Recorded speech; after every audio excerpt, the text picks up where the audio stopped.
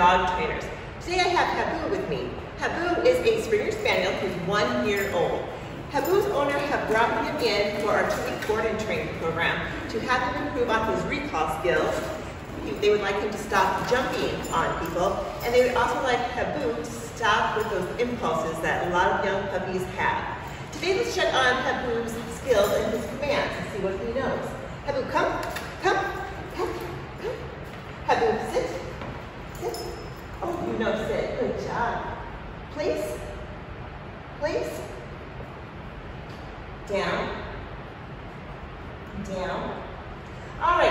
what Habu knows today. Let's check back in two weeks to see what commands Habu has mastered.